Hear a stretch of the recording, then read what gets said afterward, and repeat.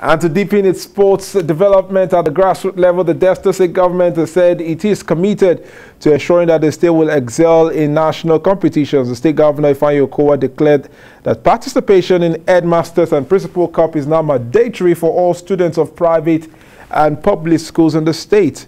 The governor made a declaration at the third edition of the Delta State Headmasters Cup, where Valley Stream British School Sapele emerged victorious by defeating Ogbe Primary School Ifron at the main bowl of the Stephen Keshi Stadium by two goals to one. Ikena Amechi tells us more. After the ceremonial kickoff by Governor Ifeanyi Okowa, hostilities commenced between Ogbe Primary School in Red and Valley Stream British School here at the Stephen Keshi Stadium. The two sides displayed skills worthy of finalists. It was goalless at half-time. In the second half, the teams stepped up the momentum as the winning prize, a bus, was up for grabs. The team from Sapele scored first, only for the tie to be leveled almost immediately. Valley Stream would convert a late penalty, which saw them carry the day.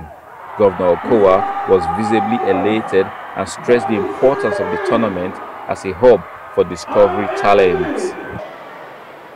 We waited faith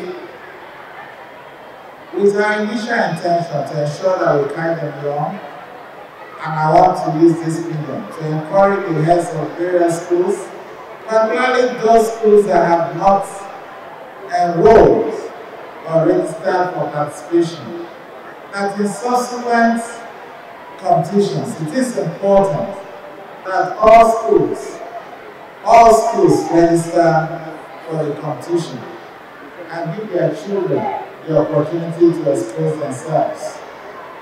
So the various commissioners for primary education and secondary education should pass this information out to all schools that we anticipate that all schools will henceforth register for the competition and may be forced to sanction any school that does not register. A total of 497 primary schools participated in the third episode of the tournament with the champions taking home a cash prize and this brand new balls. Iken Amechi, TVC News, Asaba.